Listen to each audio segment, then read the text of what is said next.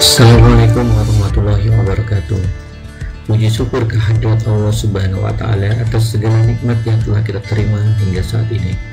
Salawat dan salam tak lupa kita curahkan kepada junjungan kita Nabi Muhammad Sallallahu Alaihi Wasallam beserta keluarga dan para sahabat. Salah satu program strategis yang mendukung pencapaian target hasil dari proyek Madrasah Education Quality Reform adalah penyaluran dana bantuan kinerja dan afirmasi atau kita singkat dengan BKBA. Untuk mendukung program tersebut, maka dibuatlah aplikasi aspek lingkungan dan sosial BKBA. Aplikasi ini merupakan aplikasi yang terintegrasi dengan aplikasi BKBA, aplikasi EMIS, dan aplikasi RKAM.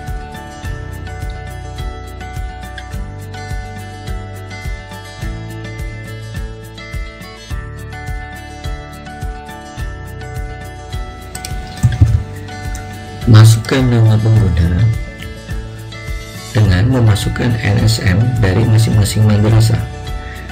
NSM merupakan nomor statistik madrasah yang terdiri dari 12 digit angka. Kemudian masukkan password yang sudah diberikan oleh kabupaten kota atau kanwil. Selanjutnya kita klik sign in.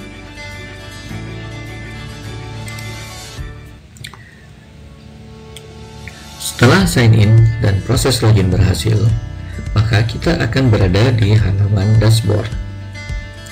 Di mana di dalam dashboard ini terdapat beberapa informasi. Yang di sebelah kiri ini merupakan menu.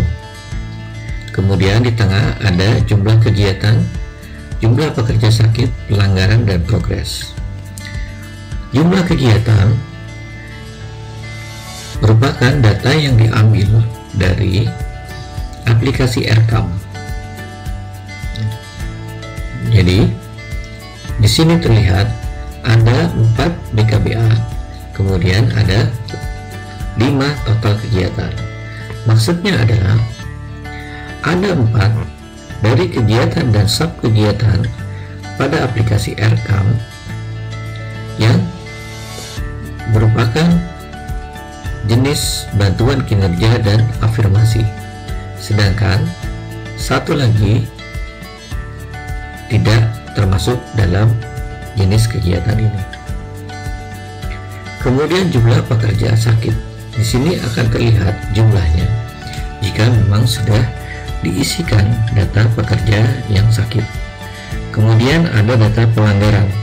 Nah, ini juga merupakan data berupa data pelanggaran yang terjadi pada uh, kegiatan proyek atau selama proyek berlangsung. Kemudian terakhir di sini ada informasi terkait dengan progres. Nah, di sini ada 0 dari 12. Progresnya adalah 0%. Nah, 12 ini diambil dari 4 jenis kegiatan dan sub kegiatan yang terkait dengan aspek lingkungan atau BKBA ini. Kemudian masing-masing kegiatan dan sub kegiatan memiliki tiga pelaporan yaitu pelaporan 0% atau kondisi pada saat belum dilaksanakan pekerjaan kemudian kondisi 50% atau kondisi pekerjaan setengah jadi atau setengah selesai. Dan selanjutnya adalah 100% pekerjaan sudah selesai. Jadi bisa dipotret dari pekerjaan belum selesai hingga pekerjaan selesai untuk masing-masing kegiatan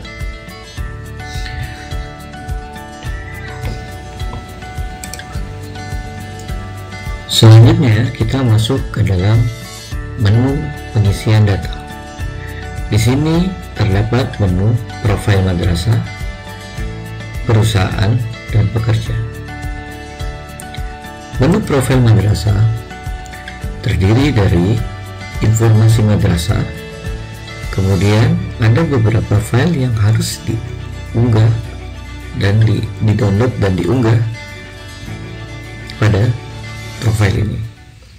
Yang pertama adalah logo madrasah dan kemudian ada kotak aduan.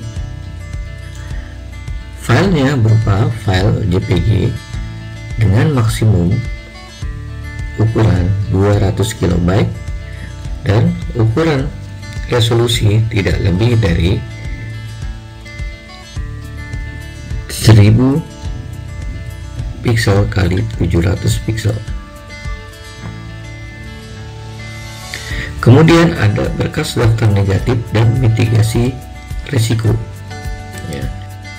daftar negatif dan mitigasi risiko dapat kita download pada menu dokumen submenu daftar negatif. Kemudian setelah data informasi ini keluar diberi informasi hari ya, kemudian tanggal bulan dan tahun. Begitu juga dengan daftar mitigasi. Setelah diklik unduh. Kemudian nanti kita lihat isi dari daftar mitigasi. File mitigasi diunduh dan diisi kemudian di scan termasuk juga daftar negatif selanjutnya adalah pengisian data perusahaan data perusahaan ini diisikan jika menggunakan pihak ketiga tetapi jika madrasah tidak menggunakan pihak ketiga, maka tidak perlu ditambahkan datanya. Cukup dengan menggunakan data yang sudah ada. Dalam hal ini, ada dua hal yang sudah kita berikan sebagai default, yaitu data perorangan dan swadaya masyarakat. Perorangan adalah untuk mendapatkan kelompok data yang pekerjanya merupakan pekerja perorangan. Jadi, tidak berkelompok atau sendiri-sendiri. Kemudian suara daya masyarakat ini adalah untuk pengelompokan data yang memang dikerjakan oleh masyarakat sekitar atau swadaya dari masyarakat atau dari penduduk yang ada di wilayah tersebut. Secara default, ini sudah ada untuk setiap daftar madrasah. Selanjutnya, jika tidak ada perusahaan, maka kita dapat langsung memasukkan isi yang melalui pekerja. Untuk menambah data perusahaan, klik tambah pada bagian kanan atas. Kemudian, isikan nama perusahaan misalnya PT Dharma Wangsa Persada kemudian untuk bidangnya bangunan dan material nomor telepon adalah 0 2 3 4 1 2 3 4 5 6 Jenis domisili penduduk atau non-penduduk. Pilih penduduk jika perusahaan tersebut memiliki domisili dalam satu wilayah kecamatan. Sedangkan untuk non-penduduk, maka perusahaan tersebut berada di luar wilayah kecamatan dari madrasah tersebut. Masukkan alamat. Pilih provinsi pilih kabupaten pilih kecamatan kemudian klik simpan konfirmasi simpan kemudian akan tampil pesan bahwa data berhasil disimpan. Klik OK. Nah di sini kan terlihat bahwa nama perusahaan sudah berhasil ditambahkan. Langkah selanjutnya adalah mengisikan data pekerja. Klik data pekerja atau klik link pekerja pada data referensi. Kemudian klik tambah. Maka akan terlihat isian data pekerja. Di sini terdapat nama perusahaan yaitu perorangan dan swadaya masyarakat serta nama perusahaan yang kita inputkan tadi baik misalnya kita isikan PT Dharma Wangsa Persada. Masukkan nama dari pekerja. Jenis kelamin. Nik jika diketahui jabatan atau kosong jabatan pimpro kemudian nomor telepon kosong kan jika memang tidak ada atau diisi kalau memang ada jenis domisili penduduk dan non penduduk. Sama halnya dengan pengisian jenis domisili tadi di perusahaan ya. untuk penduduk dipilih jika nama pekerja atau pekerja berada pada wilayah kecamatan yang sama dengan madrasah. Oke kita mengisi non penduduk. Alamatnya adalah jalan Ubud 5 nomor 10 pilihan provinsinya adalah Jawa Tengah. Kabupatennya adalah Surakarta. Kecamatan adalah Lawean kemudian kita klik simpan konfirmasi. Kemudian terdapat informasi bahwa data sudah berhasil disimpan. Klik OK. Nah di sini kita melihat bahwa terdapat nama pekerja Anwar yang sudah ditambahkan. Selanjutnya langkah yang kita lakukan adalah melakukan pencetakan terhadap kode etik dan keempat. Untuk data komitmen perusahaan atau kode etik, kita klik warna merah ya, pada ikon printer. Masukkan tanggal dari tanggal pencetakan. Kemudian klik OK.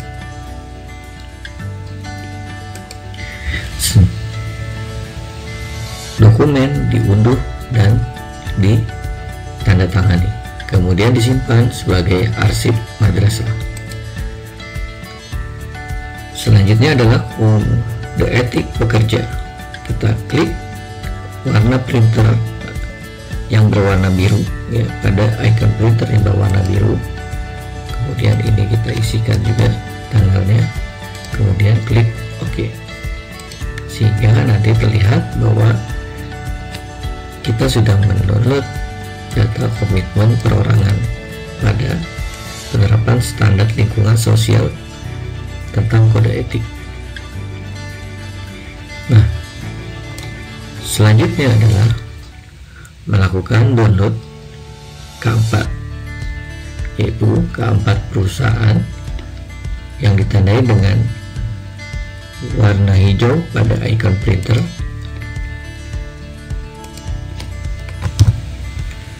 klik OK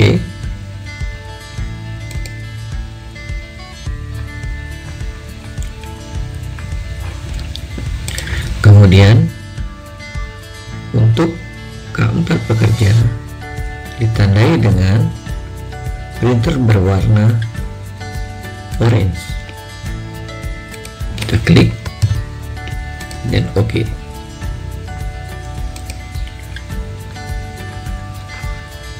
Dokumen-dokumen ini ya.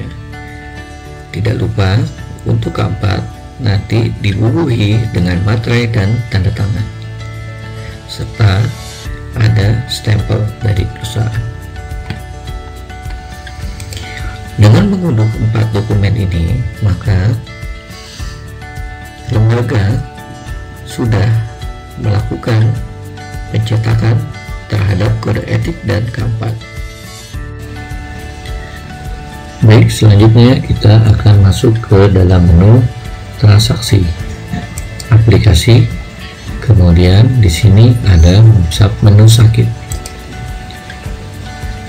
Sub menu ini digunakan untuk mencatat data pekerja yang mengalami sakit pada hari tertentu. Jika tidak ada pekerja yang sakit pada hari tersebut, maka tidak perlu ditambahkan. Cara penambahannya, klik kanan pada tombol tambah. Isikan tanggal, pilih nama pekerja sesuai dengan pekerjaan yang pekerja yang diisikan tadi, kemudian kondisi sakitnya dipilih. Keterangan bisa disebutkan sakit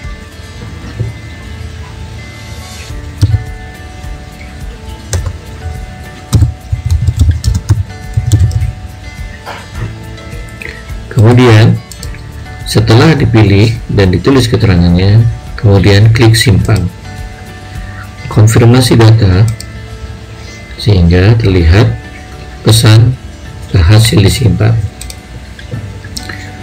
maka bisa kita lihat bahwa datanya sudah tersimpan atau masuk ke dalam list daftar pekerja sakit.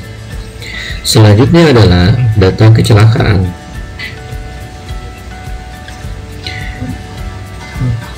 Data kecelakaan ini ditambahkan jika terjadi kecelakaan pada hari tersebut. Untuk menambahkan kecelakaan, klik tambah pada tombol di sebelah kanan atas masukkan tanggal kejadian jam kejadian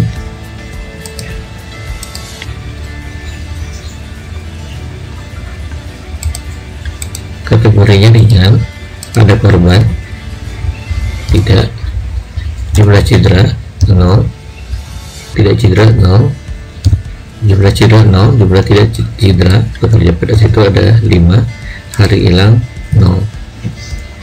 Maksudnya hari hilang adalah hari yang tidak dapat dilakukan pekerjaan terhadap uh, kecelakaan atau akibat dari kecelakaan tersebut misalnya di sini kita ketikkan agar pengaman roboh. Penyebabnya uh, angin. Dampaknya tidak berdampak serius terhadap proyek tindak lanjutnya dilakukan dilakukan perbaikan terhadap bagan yang rusak. Kemudian klik simpan konfirmasi. Kemudian akan terlihat uh, bahwa data tersebut sudah masuk ke dalam aplikasi itu sudah tercatat. Kemudian data pelanggaran. Klik submenu pelanggaran di sebelah kiri. Kemudian klik tambah pada bagian atas. Masukkan tanggal pelanggaran. Nama pekerja jenis pelanggaran atau kategori pelanggaran yaitu kekerasan berbasis gender atau pelanggaran terhadap kekerasan terhadap anak. Misalnya bentuk pelanggarannya. Ya. Terjadi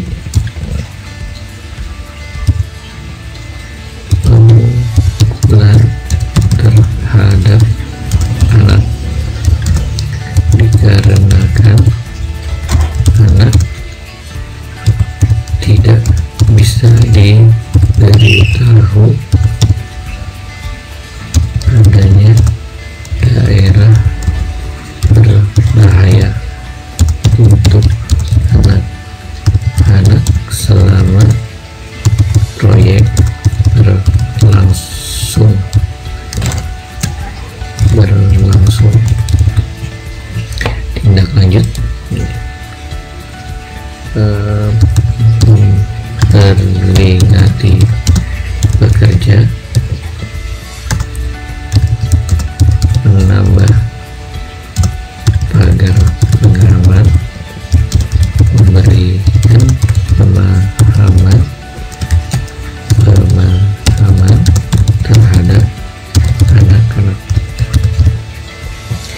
Sudah klik simpan konfirmasi kemudian akan terlihat informasi data berhasil disimpan.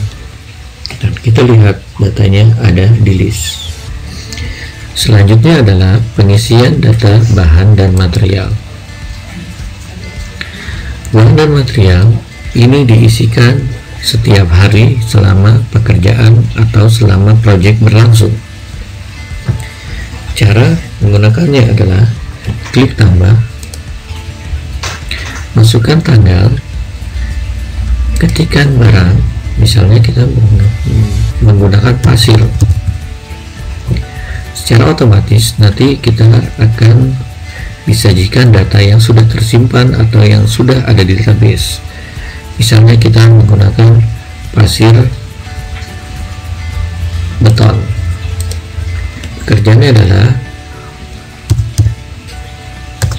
penambalan plesteran dinding. Klik simpan.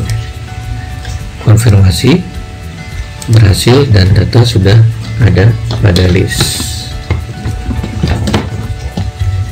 Selanjutnya fitur yang dapat kita gunakan adalah fitur copy data di mana fungsinya adalah melakukan duplikasi data-data barang yang digunakan pada hari sebelumnya. Misalnya kita menggunakan barang pada hari ini kemudian kita pada hari sebelumnya kemudian kita tambahkan datanya atau kita kopikan. Nah ini sangat berguna sekali jika barangnya sangat banyak klik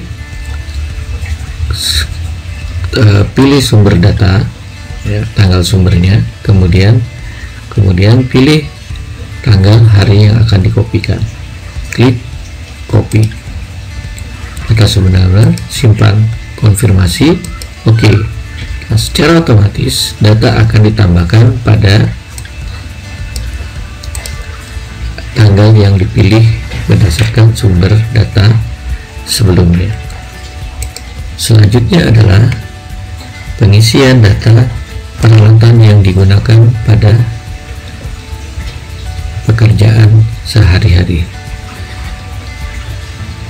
Klik menu peralatan, kemudian tambahkan datanya, pilih tanggalnya, masukkan nama alat, dan ini kita ketikkan saja misalnya menggunakan cangkul. Pilih secara otomatis kode akan terlihat di sebelah kiri. Kemudian kita masukkan deskripsi pekerjaan. Cangkul itu digunakan untuk apa? Misalnya untuk mengadu selain pada pekerjaan plester dinding kemudian klik simpan. Apakah sudah benar? Klik. Kemudian data akan tersimpan. Selanjutnya adalah kita melakukan copy data. Ini berguna untuk melakukan pengkopian data. Jika peralatan yang digunakan sama dengan sebelumnya atau ada yang berbeda. Klik copy. Kemudian klik sumber tanggal sumber kemudian klik tanggal data yang akan di copy kemudian copy data konfirmasi simpan. Kemudian ada pesan bahwa data sudah berhasil disimpan. Klik OK. Maka data akan tercatat atau terlihat pada halaman eh, data peralatan. Selanjutnya adalah pengisian data progress klik menu transaksi progres.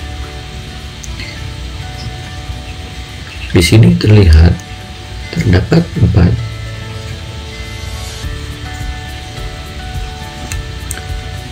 uh, kegiatan dan subkegiatan yang terkait dengan BKBA dan aspek lingkungan dan sosial. Klik misalnya adalah pemeliharaan dan perbaikan ruangan perpustakaan.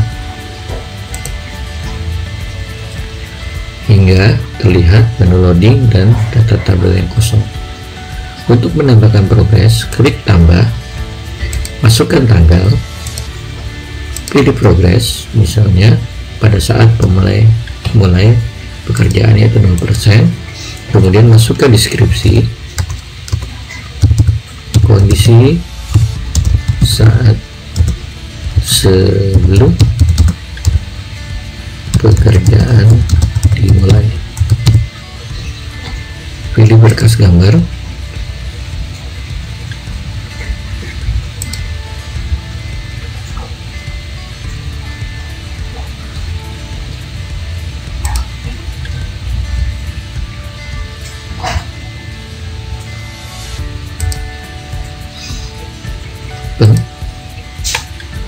penulisan atau penamaan file tidak boleh mengandung titik lebih dari satu tanda spasi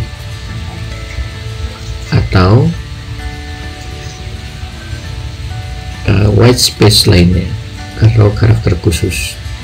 Minimal foto yang diunggah adalah satu buah.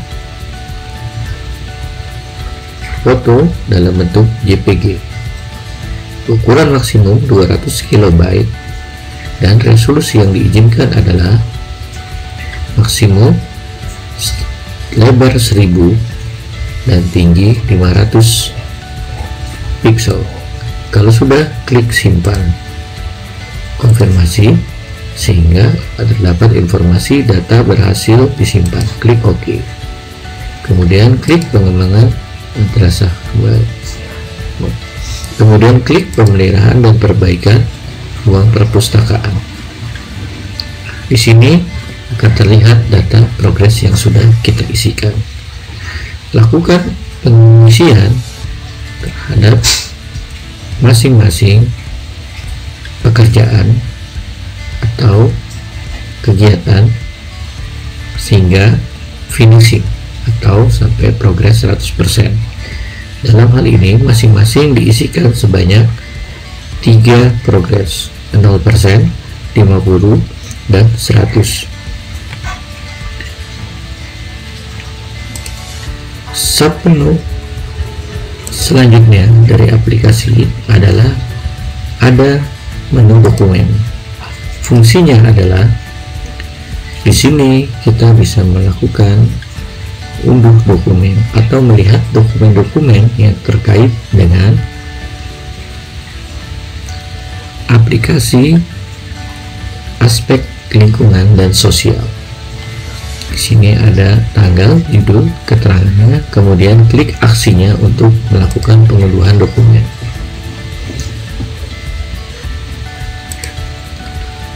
Selanjutnya ada pengaduan. Fungsinya adalah melakukan pencatatan terhadap pengaduan yang dilakukan oleh masyarakat. Klik menu pengaduan, kemudian tambah, otomatis pengaduan, nomor pengaduan diambil atau dikeluarkan oleh sistem, petugas penerimanya diketikkan, kemudian disampaikan kepada madrasah koordinator atau unit pengelola pengaduan. Misalnya yang menyampaikan datang langsung atau melalui kotak aduan. Kemudian klik nama yang mengadukan, misalnya laki-laki nomor telepon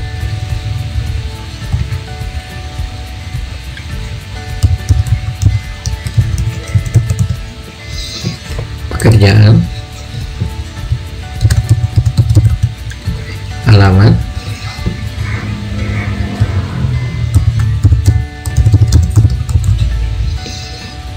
Nama madrasah yang dilaporkan. NSM alamatnya. Deskripsi pengaduan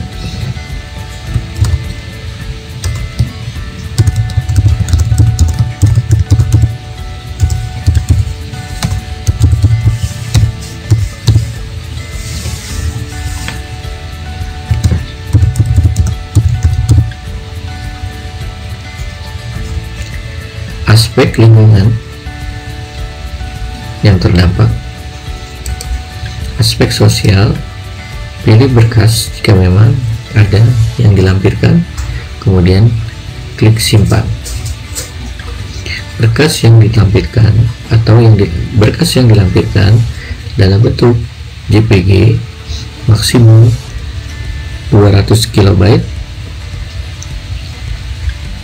lebar dokumen 1000 pixel tinggi dokumen atau gambar adalah 500 pixel kemudian klik simpan konfirmasi kemudian simpan.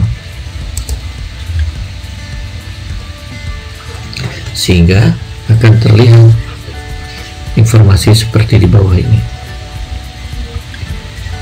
Sehingga akan terlihat informasi data pengaduan sudah masuk ke dalam aplikasi. Selanjutnya adalah aksi ada ubah pengaduan pengembalian form ya ini jika dilakukan jika form tersebut dikembalikan misalnya validatornya adalah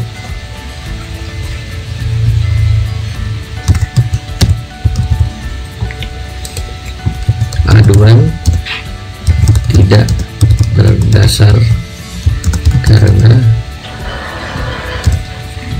sudah karena area kerja dan material sudah steril.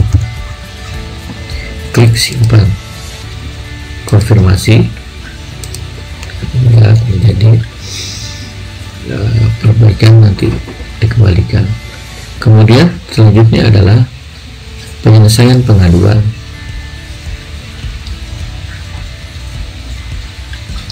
Di sini yang kita isikan adalah tanggal selesai statusnya adalah selesai atau perlu ditindaklanjuti.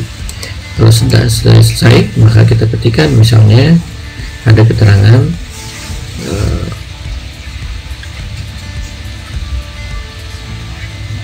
material dan area kerja sudah steril. Sebelum pengaduan disampaikan. Kemudian klik simpan konfirmasi.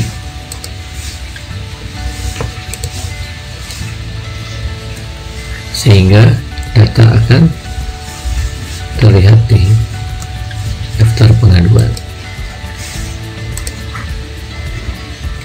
Nah dari data-data yang diisi tadi kita dapat melihat progres dari pengisian data adalah 0,08% karena tadi kita sudah mengisikan satu progres dari empat kegiatan. Kemudian pelanggaran kita mengisikan satu kerja sakit satu jumlah kegiatan tetap uh, sesuai dengan kegiatan yang diisikan pada aplikasi Aircam demikianlah uh, petunjuk penggunaan aplikasi ini. Jika terdapat pertanyaan dan kesulitan dapat menghubungi